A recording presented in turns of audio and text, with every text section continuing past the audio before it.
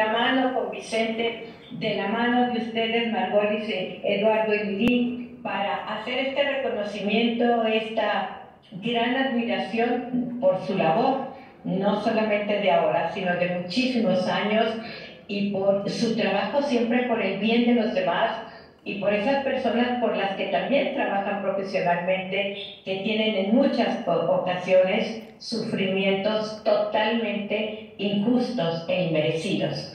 Así de que, Adrianita Lili, muchísimas gracias por esta gran oportunidad de poderme unir a ustedes a través de este Zoom.